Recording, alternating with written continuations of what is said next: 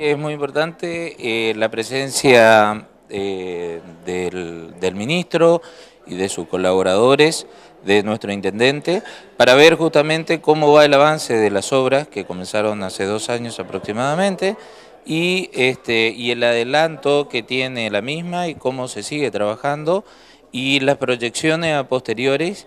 y lo que se está viendo principalmente en este momento es si hay algo para modificar o no que sean necesarios, que hayan pasado de alto o por, alto, eh, y sobre todo el equipamiento, ir viendo el equipamiento, la parte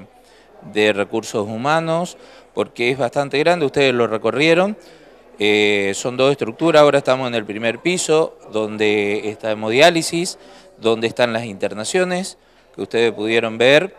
las, las habitaciones, lo que van a ser las habitaciones, que ya están casi terminadas, están todas instaladas, y luego vamos a pasar al segundo piso, que es la parte de quirófano y terapia intensiva.